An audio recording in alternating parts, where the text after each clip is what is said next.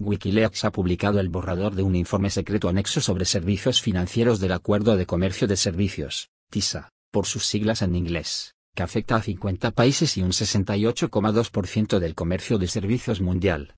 Estados Unidos y la UE son los principales impulsores del acuerdo y los autores de la mayoría de los cambios.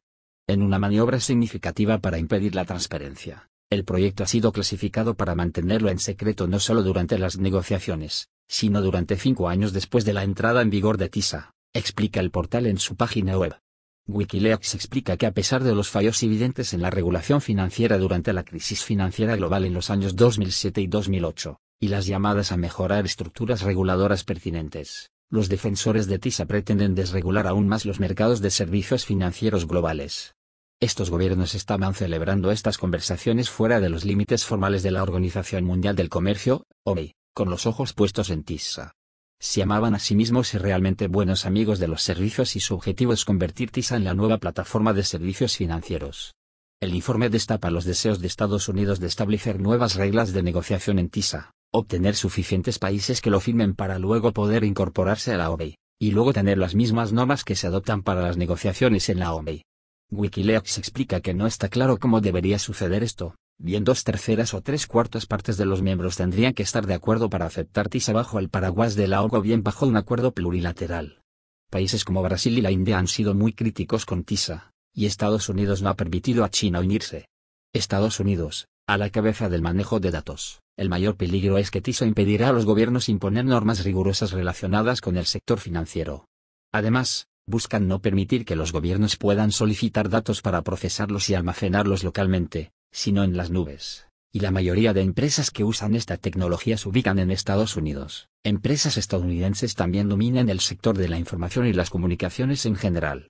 El derecho a guardar datos extranjeros es especialmente importante para el sector financiero, explica Wikileaks, porque las finanzas son datos. Las industrias de seguros y tarjetas de crédito de Estados Unidos han sido las que más protestaron en contra de las solicitudes de localización de datos. La propuesta de Estados Unidos es mucho más directa, pues quiere que cada proveedor de servicios financieros de TISA tenga derecho a transferir información en forma electrónica o de cualquier otra manera hacia y desde el territorio de otro miembro de TISA para el procesamiento de datos. El portal reitera que en tales condiciones no se puede hablar de ninguna pretensión de derecho para el Estado para proteger la privacidad y los datos personales. Expansión de las multinacionales financieras. El borrador del anexo sobre servicios financieros pone de relieve las normas que podrían contribuir a la expansión de las multinacionales financieras con sedes ubicadas, sobre todo, en Nueva York, Londres, París y Frankfurt, a otras naciones mediante la prevención de las barreras regulatorias. Regulación financiera, objetiva e imparcial. Estados Unidos aspira a que toda la regulación financiera se administre en una manera razonable, objetiva e imparcial.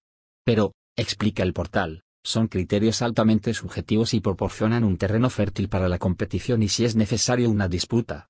La presión sobre los reglamentos, que se realiza a través de argumentos y estudios y exigiendo explicaciones, se ve reforzado por las solicitudes de consulta con correspondientes estados patronos y, si es necesario, advertencias de una disputa.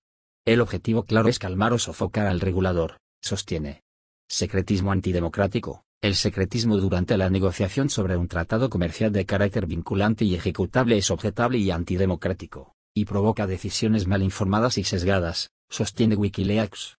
De hecho, este secretismo tiene como objetivo prevenir que los gobiernos sean responsables ante sus parlamentos y ciudadanos. La supresión de los documentos de referencia también crea problemas legales. La Convención de Viena sobre el Derecho de los Tratados reconoce que son una herramienta esencial para la interpretación de los textos legales. Su no divulgación, explica el portal, hace que sea imposible para políticos, reguladores, organismos de supervisión no gubernamentales, partidos políticos de la oposición, empresas de servicios financieros, académicos y otros comentaristas entender el significado o aplicar el texto con confianza.